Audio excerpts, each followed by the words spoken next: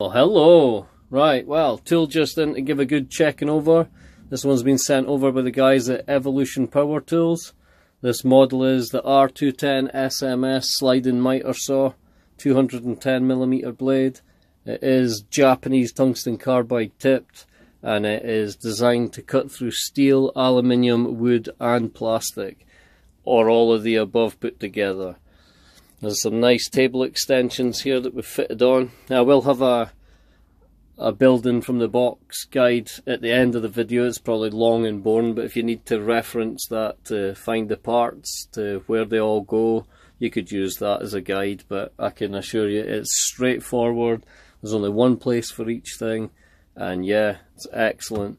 Loving the colours, loving the bit of the orange all over with the black. It's a nice mix. Uh, the base is absolutely lovely.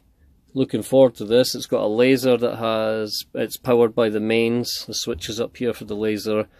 Uh, I show you in the video how to install the blade if you've got any trouble with that. Remember it's a counter threaded screw so it's left to tighten and right to loosen. So if you're trying to put the bolt in and wondering why it won't go in, that's why.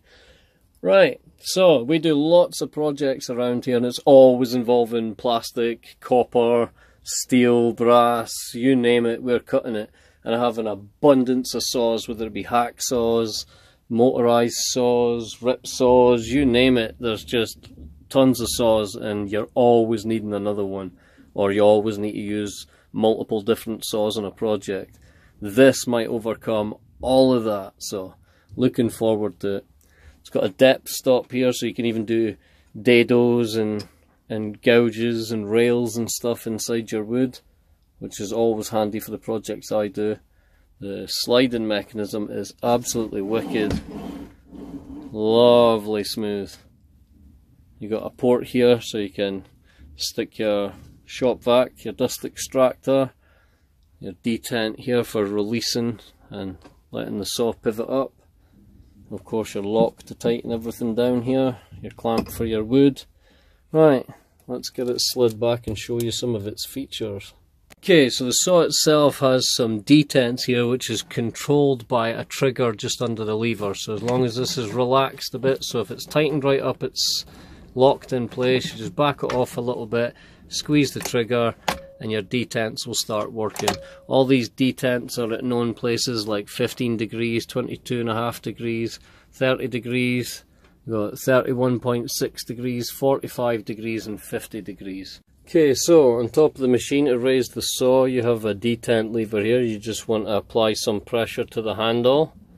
The pressure applied, and then you pull your detent out and you let your saw rise up. Now to get the saw back down again you must always press your safety paddle here for unlocking the guard for it to be able to come back down or else it's stuck. So yeah now we have bevels down here which I'll put it down to show you. You have this handle at the back that you would undo now that allows the machine to tilt and pivot you have the counter here telling you at which degrees it's being preset at. You also have a little adjustable bolt that's down here and this detent lever you can use in conjunction to preset. So if you want it set at a certain space for multiple cuts, you can set it up through that and then it's just quick and easy zapping it. Which is excellent. Good for repeatability, good if I'm building like I do lots of stuff from go-kart frames and all made of metal, wood, mixtures of stuff. So this saw is going to be ideal. Now, we'll get the laser checked out. Okay, so the laser switch is on the top of the machine, which turn it on. Now you can see the laser showing up. I've just checked it out and it comes up perfectly up the right hand side of the blade. Just a smidge past the tip of the blade. So that is going to be good for reference. Excellent. Good that it's not run on battery power, that it's actually run through the mains. So, yeah. Machine is available in 240 volts and 110. This one is 240, which is what my power runs at in the UK. Excellent.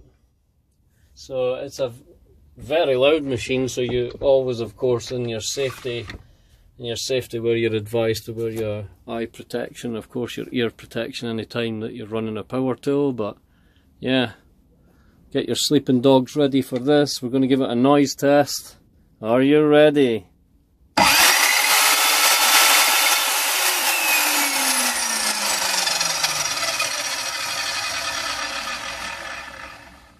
Yeah, that ain't no silent machine, that means business. It's the sound of power right there. But yeah, it's activated. There's a orange switch up under here. But it can't come down unless you've activated the paddle. You always start your saw, get up to full speed while it's upraised. Don't be bringing it down as it starts or have it down and then start it. safer to have it up at the top. Give it a start, bring it down, make your cut, let it stop and then bring it up. Safety is important, remember folks. Don't want to be losing any fingers. Okay, this will be a loud noise warning. This is going to be on for quite a bit, so I'm going to run through some various different things to cut and see if it'll actually cut them without a problem. And yeah, we'll report back. So you want to probably turn your TV down now. right let's get to it. First of all, we've got some laminate flooring.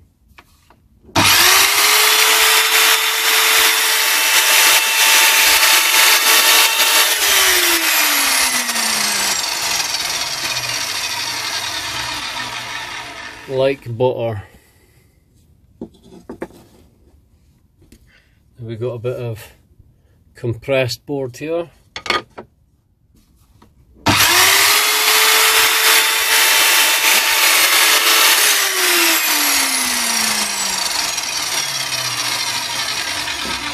No problems. Get you back a bit so you can see more. We've got some ply board here, quite thick, about 18 mil, 20 mil.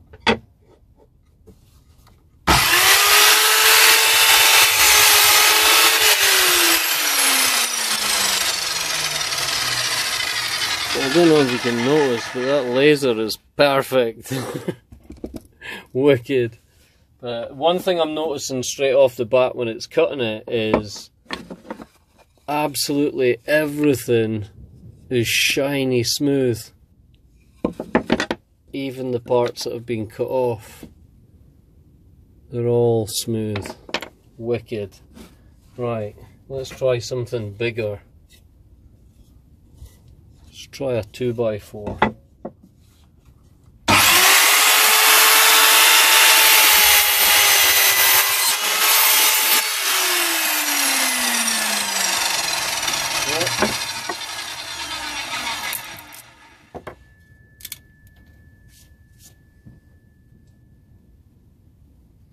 Left a little tiny chunk on that one. That was my bad. We'll do that again.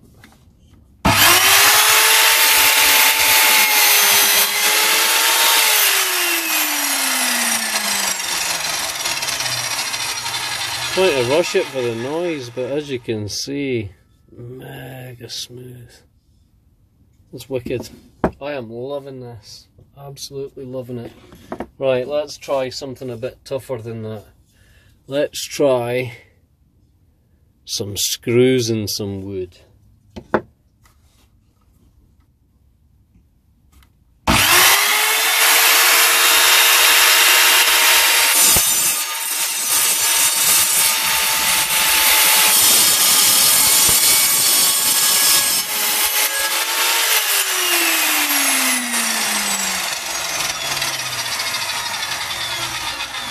Noisy, but nailed it. Lovely jubbly. That is wicked. Absolutely wicked. So yeah, I never used the dust vac on mine, so it's getting messy in here. Let's try some plastic pipe.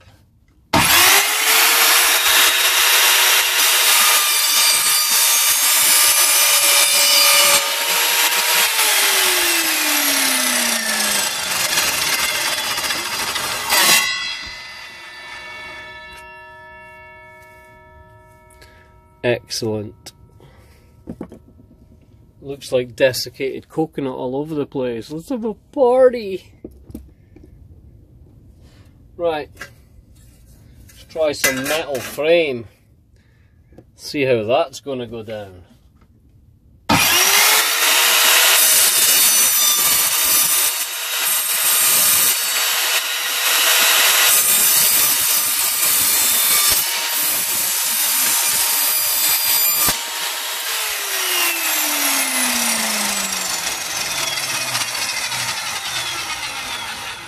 No issue. Wow.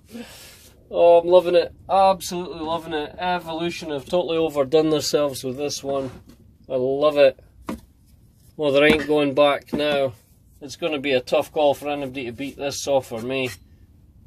This is wicked. That blade is phenomenal.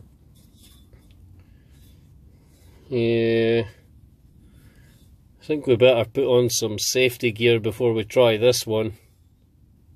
Let's give it a bash. No joke when playing with metal shavings folks, so please get your eye protection on. I'm going to stick a glove on as well just in case. And we are to try cutting this.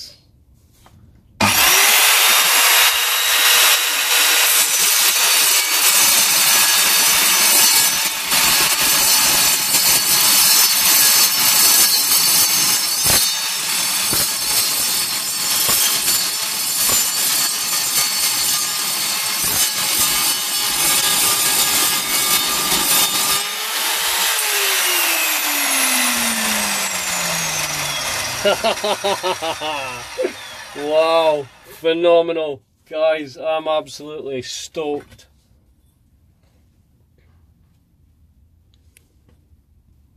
Wow.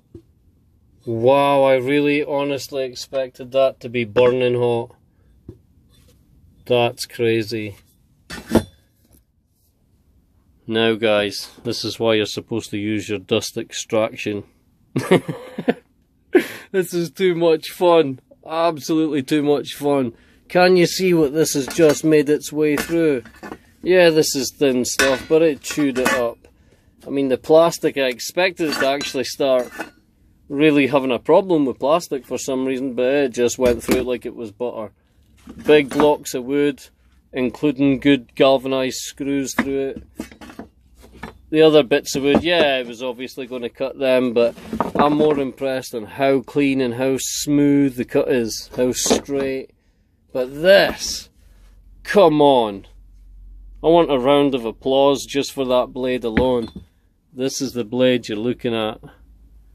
Steel, aluminium, wood, and plastic, or aluminum, depending where you're from. Aluminum, there you go. So yes. The laser is perfectly straight. It seems to be honed in perfectly fine. This The cut is just phenomenally smooth. I am stoked with this. This is a saw and a half. I mean, we have lots of stuff. Yeah, let's, let's chuck a bike frame on it. Let's see if it will cut through that nice and easy. More noise. Be prepared.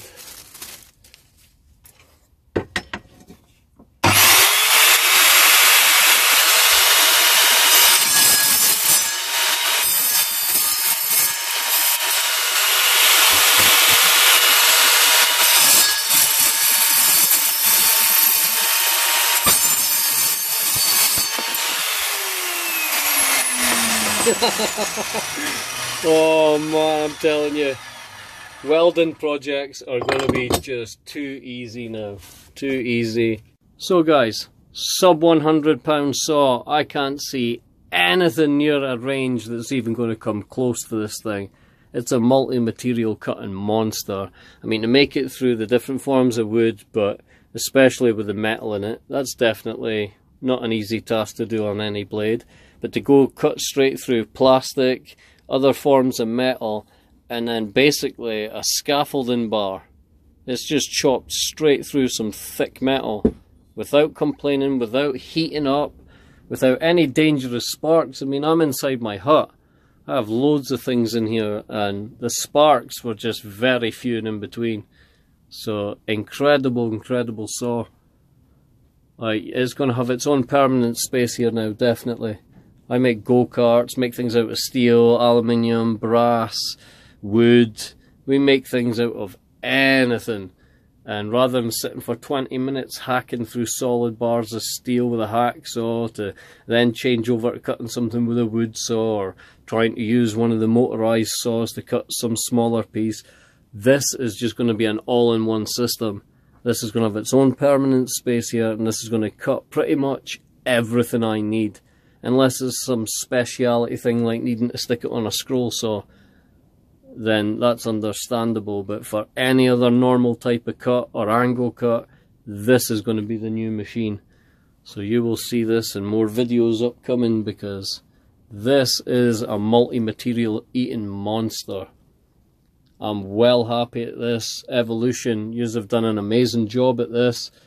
I must admit, I didn't think it would have even chopped through metal nicely, let alone a big thick tube. That's crazy. So good job for you guys. The development of your tools is incredible. But yeah, so we'll get on with making some stuff. Absolutely amazed at this thing's ability. And yeah, I would recommend this for absolutely anybody. In your workshop, at your work, if you've got several different saws that you chop and change in between, you'll probably find that this can do multiple jobs and you only need the one machine. It's bigger, it's heavier, so, hmm, I don't know. Does carrying multiple things, is that easier than carrying one main unit? Probably not. The wire management's good, it wraps up, it's easily portable, it's it's lighter than what it looks. It looks like it's going to be much heavier, but no, no, it's lighter. It's stable, it's well balanced, it's tuned in, the laser's correct. I mean, what else can I say about it? Even the laser's rigged into the mains wire, the mains power, rather than running off batteries like nearly every other saw like this I've seen. And it's got some decent power. It's a 1500 watt. This is running on 240 volts. You can get them at 110 volts. So again, they've they're paying attention at what their market needs. So yeah, I'll probably add in some build-up videos to give you a bit of a guide. But yeah, it was long and boring, so we'll probably add that in at the end. And yeah, let's go and try and make something. Right, so pretty much at the base here, lovely looking base. The knob here will be for the front part. Slot that in there and wind it in. So you can't wind it anymore. Nice and tight, just back it off a bit. Underneath you have the trigger for releasing to go all the known detents along on the saw, all the different places that your known degrees, like your 30 degrees, 45 degrees. Now this does have 45 degrees in either direction for your cut, and it has 50 degrees as well for the miter cuts, so excellent. Right, now we'll stick our sliding rods in with the writing around the right way. These have little detent pins coming out here so that when you stick the head unit on they should lock into place. Right, so this is the head unit here. Two holes in the back.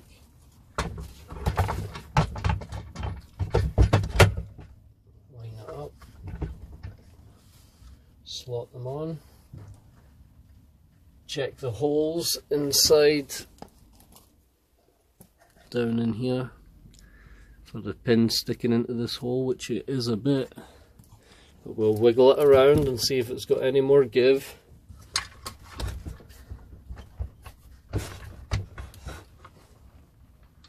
Both pins seem to be out and into place.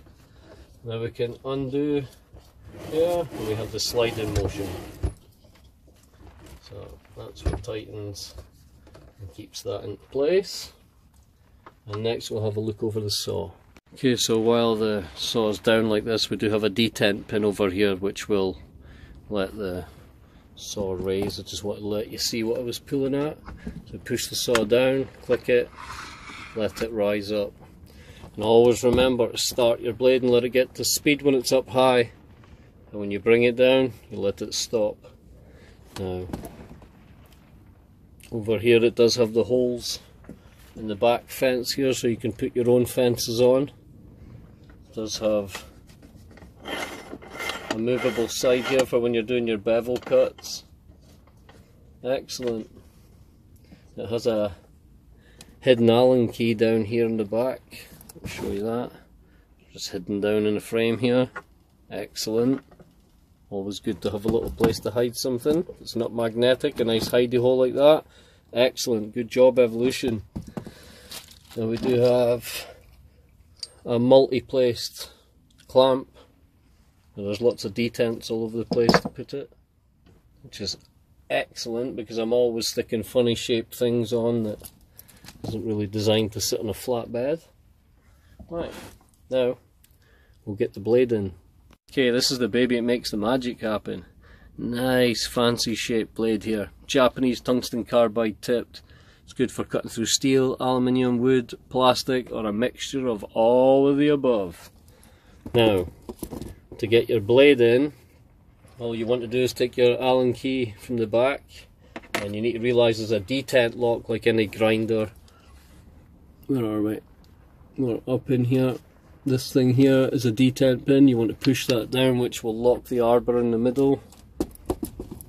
Right, so hold the detent in and find it till where it locks and remember it's right it's clockwise to loosen it and anti-clockwise to tighten it. So it's not righty tighty lefty loosey it's righty loosey lefty tighty right now we want to hold the flap in bring up the guard let go of the flap and you can just hold it with your finger up there if you want. And you want to slot the blade in at an angle it gets up there and you can release the guard now.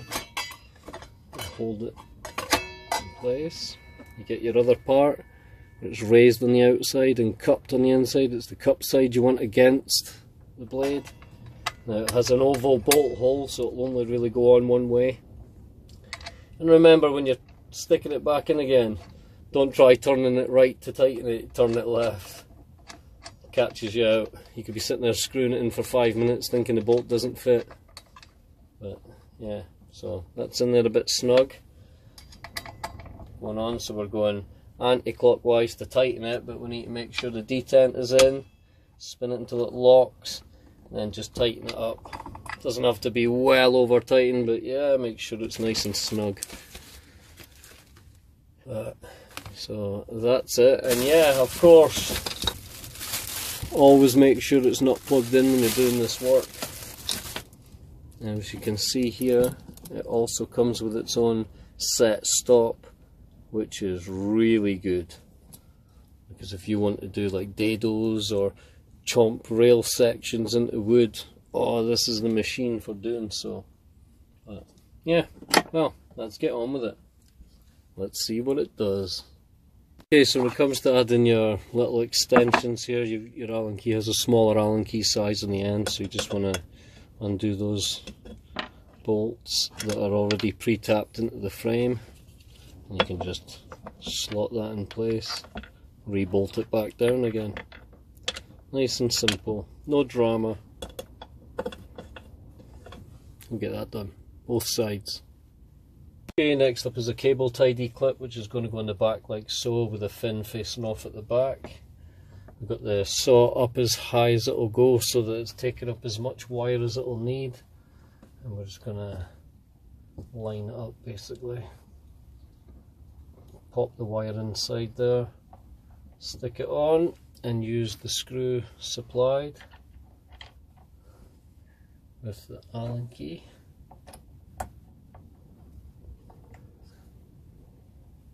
It's just as easy as that. It's on. Now we have somewhere to wrap the cable around. Oops. Accidents. So if you're transporting it or you just want it tidied out of the way, you also have a little clip on the cable here to hold on to the wire to stop your plug from bouncing about and everything. Lovely and neat. Right. Let's get this thing. Yeah, so there you go. Sub £100 got a three year no quibble warranty. That alone has to back it up, and they stand behind that. This company's been around for a while. They've got an extensive tool range. You should check them out. They're all made of good quality materials. They'll have all the extra fixtures, fittings, add-ons, all the handy stuff that's needed in a model. They seem to have it incorporated. Things like the laser running off the mains power rather than the battery. Doesn't sound like much, but when you're doing speedy jobs, having that laser helps. And if you haven't got a stack of those little batteries around, then it's useless. But yeah, so will be more than adequate for my up and coming projects. Various metals and woods and all sorts of frames, so keep your eye out. I'll have some videos of projects up soon with this multi-material eating monster. This will be running the show. Everything will be really fast, really quick, nice clean angles, clean cuts. Hardly any prep by the time I need to do stuff, so yeah, absolutely no complaints. So should check them out. I'll have a link in the description of the saw and other things that you might need to know. I'll put some specs and size of cuts and stuff in there, so if you want to check it out, the information will be there. So yeah, look out for another video. We'll have some projects on specifically made on the miter saw. Bye for now, guys.